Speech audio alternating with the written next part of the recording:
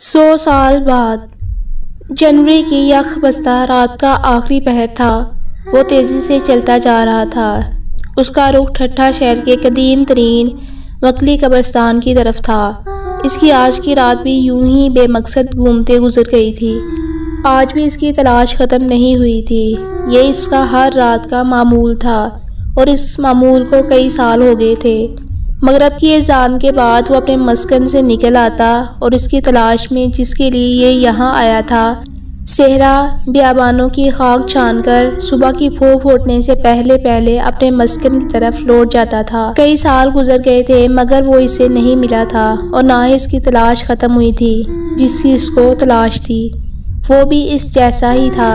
इसने एक दफ़ा दो लोगों से सुना था कि वो यहाँ सिंध की ज़मीन में कहीं, कई साल से मौजूद है और ये उसी की तलाश में यहाँ ठट्ठा शहर में आया था। इसे अपनी जन्मभूमि तो याद नहीं थी अलबत् इतना पता था कि इसे यहाँ ठट्ठा शहर तक पहुँचने में कई साल लगे थे। इस दौरान वो कई बार इंसानों का गुलाम होने से बाल बाल बचा था, बल्कि एक दो बार तो ये मौत के मुँह में भी जाते जाते रह गया। यहाँ इसने अपना मस्कन मकली कब्रस्तान के एक पुराने से दरख्त के करीब बनाया था। सोचों में गुम वो तेज़ी से रवा दवा था कि अचानक सामने किसी गाड़ी की हेडलाइट सामने नज़र आई। इसने चौंक कर सामने देखा और छलांग लगाकर एक तरफ़ झाड़ियों में कूद गया। एन इसी लम्हे एक गाड़ी जन से इसके करीब से गुजरती चली गई। इसकी तेज नज़रों ने इतने से वक़्त में ही गाड़ी में मौजूद नफूस की गिनती कर ली थी। वो कुल चार इंसान थे। जिनमें एक औरत भी थी। इसने एक बार फिर कदम बढ़ा दिए, मगर अब की बार इसने आम रास्ता छोड़कर झाड़ जंगार में चलने को तरजीह दी थी। ये नहीं चाहता था किसी इंसान की इस पे नज़र पड़े या किसी इंसान से इसका टाकरा हो। इसे जहरीले अशरा से किसी भी किस्म का कोई खौफ नहीं था, इसलिए वो बेधड़क झाड़ियों में से गुजरता जा रहा था। इसे खौफ था तो बस इंसानों का। इंसानों से इसे बचपन ही से डर लगता था। ख़ास तौर से इस वक्त से जब एक इंसान इसके सामने इसकी माँ को बेदर्दी से मार दिया था और फिर कुछ अरसे बाद एक और इंसान अजीब सी कोई चीज़ बचाकर इसके बाप को पकड़ कर ले गया था। इसके बाद इसके बाप का कोई पता नहीं चला था। इस वक्त ये बहुत छोटा था और इसने ये सब अपनी आँखों से देखा था।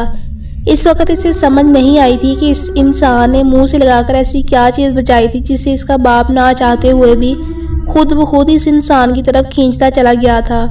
मगर चूं चूँ ये बड़ा होता गया, इसे सब समझ आ गई थी। इसने अपने पुरखों और कबीले के बड़ों से भी सुना था कि इंसान इस धरती की सबसे ख़तरनाक मखलूक है। जहाँ तक मुमकिन हो इसे बच कर रहना, और इसने अपने बड़ों की ये बात पल्ले बाँध दी थी। सोचों में गुम से पता ही ना चला कि वो कब्रस्तान के करीब पहुँच गया। अब कदरे वो बेफिक्र हो गया था, क्योंकि वो जानता था इस वक्त इस कब्रस्तान में स्वाय इसके और कोई नहीं आ सकता था। वो आराम से चलता अपने मस्कन के करीब पहुँचा और एक वो सीधा सी कब्र के करीब लेटकर सुबह होने का इंतज़ार करने लगा। रात सर्द थी, मगर इसे कोई परवाह नहीं थी। ये मज़े से ठंडी ज़मीन पर लेटकर आसमान को तकने लगा। जहाँ पहले ये रहता था, वहाँ बस सर्दी ही थी। वो बेहद खूबसूरत जगह थी चारों तरफ़ ऊँचे ऊँचे पहाड़ और इन पे जमी बर्फ़ से लगता था, जैसे यहाँ सब कुछ बर्फ़ से बना हुआ है। इसके लिए बस एक ही मुसीबत थी कि कुछ माह के लिए वहाँ लोगों का हजूम रहता था। अनगिनत लोग आते और जाते थे। फिर जैसे ही बर्फ़बारी शुरू होती, लोग भी आना बंद कर देते। जैसे ही बर्फ़ गिरने का मौसम ख़त्म होता, लोग फिर से आना शुरू हो जाते। इसे दिन रात अपने मस्कन में गुजारना पड़ते थे। खाने को भी मुश्किल ही कुछ दस्तियाब होता था। एक दो बार ये लोगों की नज़रों में आया था। कुछ तो इसे देखकर खौफजदा हो गए थे। मगर कुछ नहीं हिम्मत करके इसे मुकाबला करने, बल्कि इसे मारने की कोशिश की थी। बस इसकी किस्मत अच्छी थी कि ये इनके हाथों में बाल बाल बचा था। कुछ किस्मत तो ये शुरू से ही था। इस वक्त से जब ये पैदा हुआ था, दुनिया में आते ही इसने सबसे पहले जो देखा, वो इसे हैरान और परेशान कर गया था। इसके इर्द गिर्द इन जैसे अनगिनत एहसान फिर रहे थे। इसने वो मुश्किल इनको इर्द गिर्द धकेला और खुद को किसी न किसी तरह एक तरफ़ कर लिया। इसकी नज़र सामने पड़ी तो इसे अपने जैसा मगर बहुत बड़ा जिसम नज़र आया। उसे लगा ये शायद इसकी माँ है। इसकी माँ ने अचानक सर उठाया, मुँह से तेज़ आवाज़ ऐसी आवाज़ निकाली और इन सबको अपनी लपेट में लेना शुरू कर दिया। इस जैसे छोटे छोटे तमाम शाम एक दूसरे के ऊपर नीचे गिरने लगे। इनमें खुलबली मच गई थी। फिर इसकी माँ ने इनको एक एक करके खाना शुरू कर दिया। ये और कुछ दूसरे अपनी माँ के सार से निकलने की कोशिश करने लगे। कुछ खुश किस्मत खुश नसीबों में एक ये भी था, ये हसार से निकल कर भागा नहीं, बल्कि कुछ दूर जाकर लेट गया। इसकी माँ ने पेट भरने पर एक बार फिर फनकार मारी। ज़मीन पर सर रखकर आराम करने लगी। इसके साथ बच जाने वालों में से कुछ मार गए थे और कुछ को लोगों ने पकड़ लिया था या मार दिया था। मगर ये ज़िंदा रहा। इस दिन के बाद इसकी माँ ने बच जाने वालों को ना मारने की कोशिश की और ना ही खाने की। वो इन सबको साथ रखने लगी। वहाँ इनका पूरा कबीला आबाद था। इसने बड़ों से इसने बहुत कुछ सुना और सीखा था, जिनमें से एक इनकी नस्ल का नाम भी था मोलसक। ये मोलसक नस्ल से थे। फिर इसे ये नाम अच्छा लगने लगा। जब एक दिन इसकी माँ को किसी इंसान ने मार दिया और बाप को कोई सपेरा पकड़ कर ले गया तो ये दिल बर्दाश्ता होकर कबीले उस जगह से निकल आया। ये दिन रात चलता रहा और न जाने कहाँ और कितनी दूर निकल आया। इसे कोई खबर ना थी कि वो इस वक्त कहाँ है। वो एक खूबसूरत और ठंडा इलाका था, इसे ये जगह बेहद पसंद आई तो इसने यही अपना मस्कन बना लिया।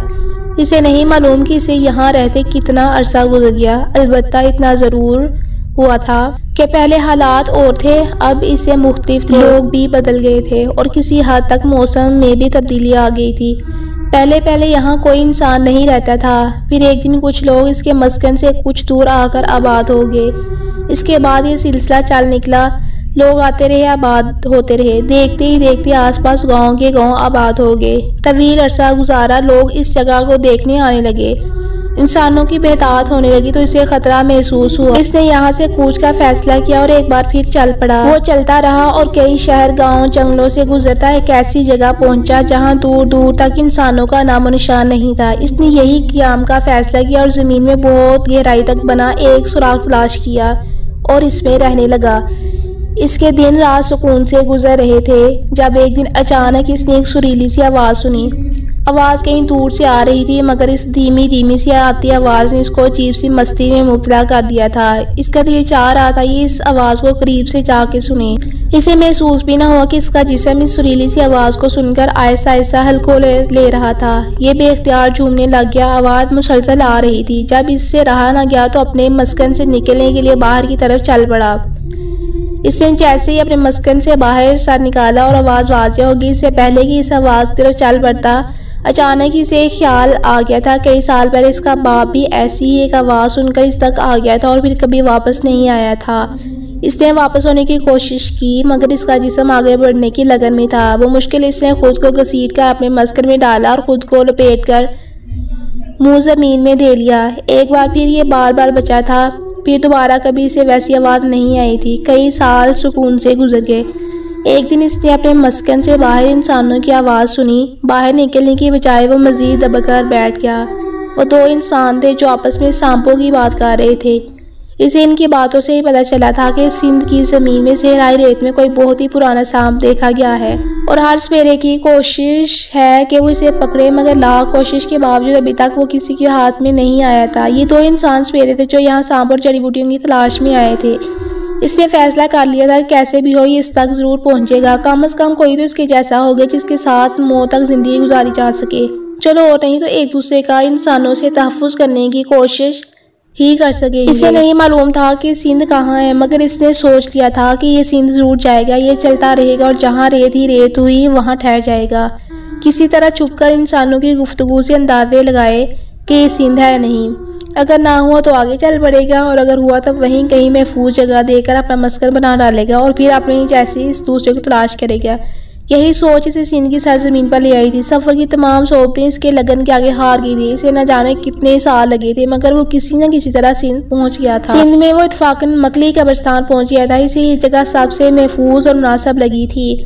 इसने यहाँ एक पुराने दरख्त के करीब अपना मस्कन बनाया और रहने लगा। ये रात को निकलता और जिसकी तलाश में आया था, इसको ढूँढने की कोशिश करता। दिन को ये अपने मस्कन में ही रहता। खाने के नाम पे यहाँ इसको फिल वक्त मट्टी ही दस्तियाब थी। मगर इसने हिम्मत नहीं हारी। हर रात को निकल पड़ता और तलाश करके सुबह होने से पहले पहले वापस लौट आता। इसे यहाँ आए कई साल हो गए, मगर इसकी तलाश मुकम्मल ना हुई थी। फिर एक शाम मगरब के बाद वो अपने मस्कन से बाहर निकला और वहीं लेट कर रात गहरी होने का इंतज़ार करने लगा। चांदनी रातें थी, चाँद की हल्की हल्की रोशनी दुनिया की कदीम तरीन कब्रस्तान में फैली अजीब सी प्रासरियत फैला रही थी। ऊँचे मकबरों के साए ऐसे लगते थे जैसे किसी प्रासदार मखलूक ने कब्रस्तान पे दावा बोल दिया हो। वो लेटा सोच रहा था कि पता नहीं कब इसकी तलाश ख़त्म होगी, पता नहीं कब इसी इसका हमजन्स मिलेगा, जिसके साथ वो कुछ दिन सुकून के गुजार सके।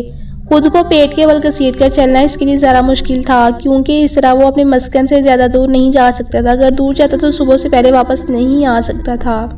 इसकी जसामत काफ़ी लंबी चौड़ी थी। कोई भी इंसान इसे देखकर खौफजदा हो सकता था, मगर मुमकिन था कोई इंसान इसे जान से ही मार देता। है इसलिए सुबह से पहले हर सूरत अपने मस्कन लौट आता।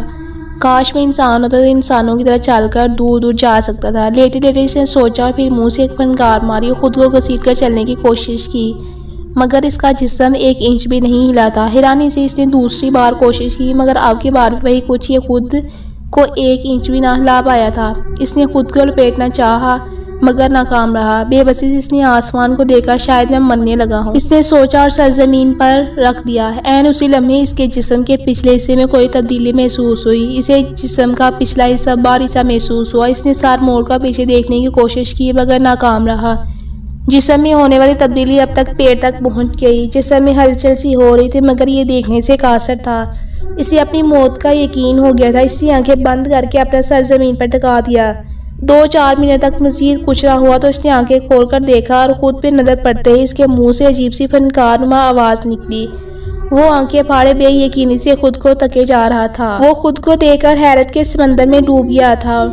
ये ये कैसे हो सकता है? मैं इंसान कैसे बन सकता हूँ? उसने सोचा और दोनों हाथ ज़मीन पर टकाकर उठ खड़ा हुआ। ये अभी तक पेट के बारी लेटा हुआ था। ज़मीन से उठते इसने एक बार खुद को सर से पाँव तक देखा और खुशी से झूमने लगा। करीबी दरख्त से कोई उल्लू चीखा था, जिसकी आवाज़ कब्रस्तान के मौत जैसे सन्नाटे को चीर कर दूर तक गई थी।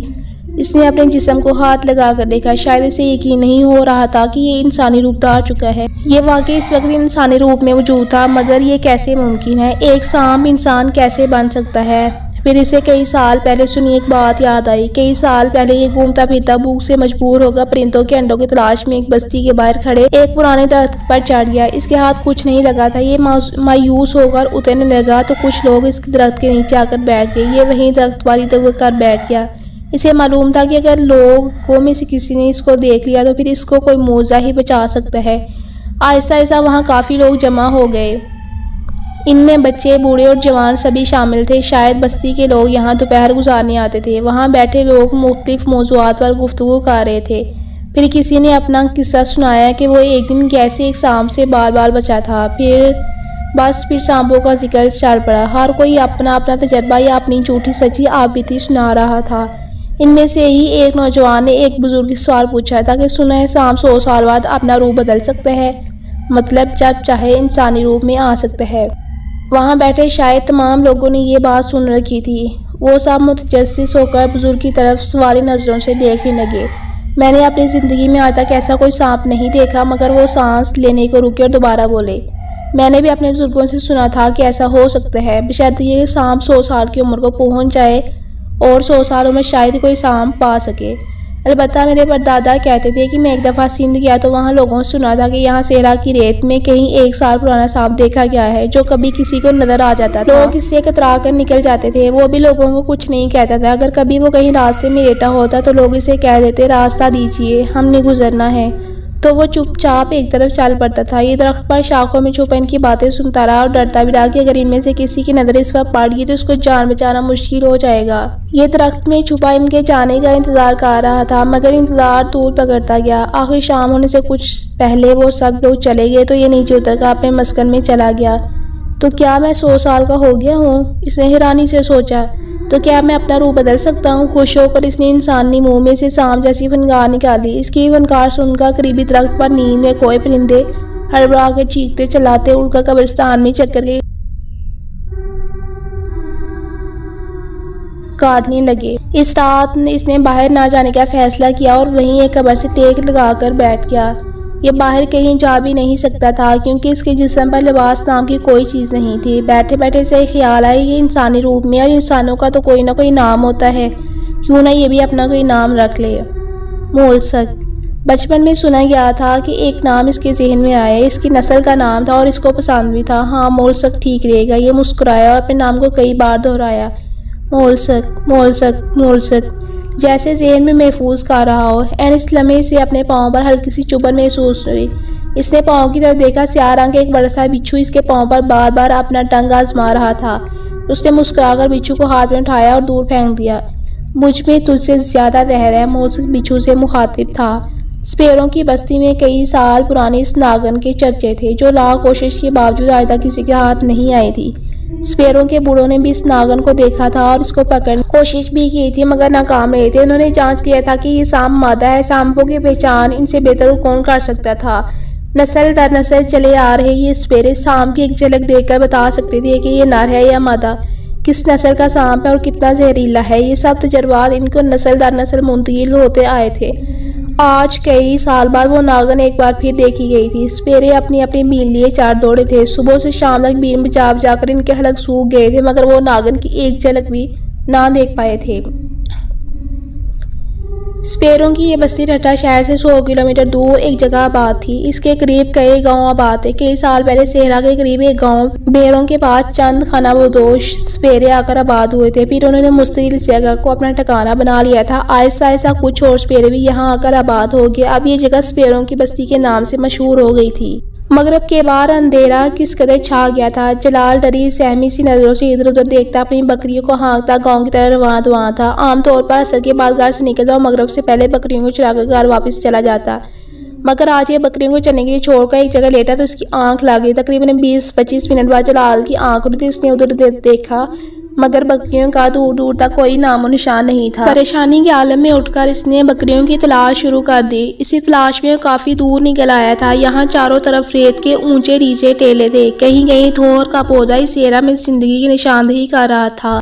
वरना हर सो रेत ही रेत ही जलाल यहाँ पहले आ चुका था, मगर अपनी बकरियों को लेकर कभी इस तरफ़ नहीं आया था, क्योंकि बकरियों के खाने की यहाँ कुछ भी मौजूद नहीं था। गाँव से कुछ दूर ही बकरियों को घुमा फिराकर वापस ले जाता था। गाँव के करीब भी अगरचे कोई चरागा तो नहीं थी अलबत्ता दरख्तों के पत्ते या थोड़ी बहुत सूखी हरी घास मिल जाती थी। जलाल ने अपनी बकरियाँ तो ढूंढ नहीं थी, मगर इसे देर हो गई थी। शाम के अंधेरे फैलना शुरू हो गए थे। इसने बकरियों का हाँकना शुरू किया और घर की तरफ़ चल पड़ा। चलते चलते बकरियाँ अचानक ही रुककर मनाने लगीं। शायद उन्होंने कुछ देख लिया था। बकरियाँ खौफ ज़्यादा सी आवाज़ें निकालकर पीछे को हटने लगी। जलाल इनको डरा धमकाकर हाँकने की कोशिश करने लगा, मगर बकरियाँ आगे जाने की बजाय पीछे की तरफ़ मुड़ रही थी। जलाल पहले ही अंधेरा होने की वजह से खौफ सदा था। अब बकरियों का यूँ चलाना और पीछे हटना इसे मजीद खौफ में मुबतला कर गया। इसने सामने और इर्द गिर्द नज़र दौड़ाई, मगर ऐसा कुछ भी इसे नज़र न आया था जिससे बकरियाँ खौफ ज़्यादा थी। इसने बकरियों के इनके हाल पे छोड़ा और सूरत जानने के लिए चंद कदम आगे बढ़ा दिए। अंधेरे में इसे सामने दो चुगनू चमकते हुए महसूस हुए। इसने कुछ कदम रोककर गौर से देखा। जब कुछ समझ न आया तो डरते डरते वो चार कदम मजीद आगे बढ़ा दिए। वो दो चुगनू अब इसके सामने ही थे और वो चुगनू नहीं, किसी दो आँखें थी जो जलाल को ही तक रही थी। जिसम के उतार चढ़ाव से जलाल को लगा कि वो कोई जवान लड़की है जो बड़े आराम से रेत पे लेटी, इसे ही घू रही है। जलाल के मुँह से निकलने वाली चीख ने सेरा की सुकूत में हलचल मचा दी थी। वो बिदक कर पीछे हटा और सर पे पाँव रख के बाएँ तरफ़ दौड़ पड़ा। शाम की पनकार से मुशाबा आवाज़ सुनी थी। इसको यूँ दौड़ता देखकर उसकी चीख सुनकर बकरियाँ भी इधर उधर भाग निकली। जलाल के जहन में बस एक ही बात थी। रेत के सेहरा में रात की इस पैर जवान लड़की को कोई चुड़ैल ही हो सकती है। वो बिना पीछे देखे बस भागता जा रहा था। भागते भागते इसका हौसला जवाब दे भागने की वजह से इसके हलक में कांटे से महसूस हो रहे थे। इसने रुक कर नीचे बैठने की कोशिश की, मगर इसकी टांगों ने जवाब दे दिया। वो दब से रेत पर गिरा और बेहोश हो गया। जलाल को मालूम ही नहीं इसे कितनी देर बाद होश आया था।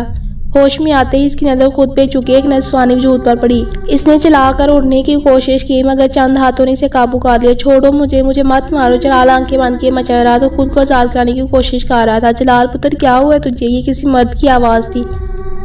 जलाल ने आगे खोलकर देखा, इसका बाप मोहब्बत इसको देखते हुए पूछ रहा था, मैं कहाँ हूँ? बस आई जलाल को अभी यकीन नहीं था कि अपने घर में है। पुत्र तो अपने घर में है। आपकी बार इसकी माँ बोली और जलाल जिसने स्वानी वजूद को देखकर चलाया था, वो इसकी माँ ही थी। जलाल ने पानी मांगा और एक ही सांस में सारा प्याला खाली कर दिया। फिर इसने आहिस्ता आहिस्ता अपने साथ होने वाला सारा किस्सा सुनाया। जलाल के पूछने में वो घर कैसे पहुँचे? इसके बाप ने बताया कि तू जब मगरब तक नहीं आए तो मैं और तेरा चाचा नसीर तुझे देखने गए थे। और तो हमको एक जगह से बेहोश पड़ा मिला था और जलाल की बात सुनकर उन्हें यकीन कर लिया था कि जलाल ने ज़रूर कोई चुड़ैल या बादरू देख लिया है, क्योंकि सियरा में ऐसी चीज़ों का होना नामुमकिन नहीं था।